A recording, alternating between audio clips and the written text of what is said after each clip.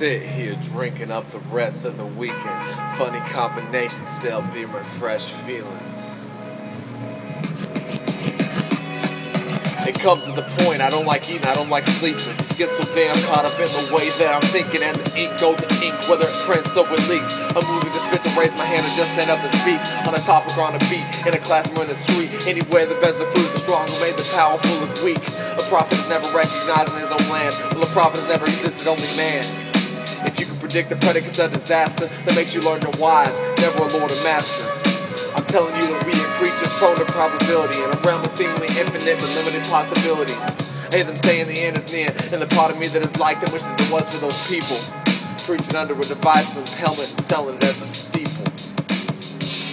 And now I know why God was made in our image, and now I know why we treat this life as a scrimmage. But today I'm gonna start starting all my star players. I'm gonna say the best of me and mind the things that might come later.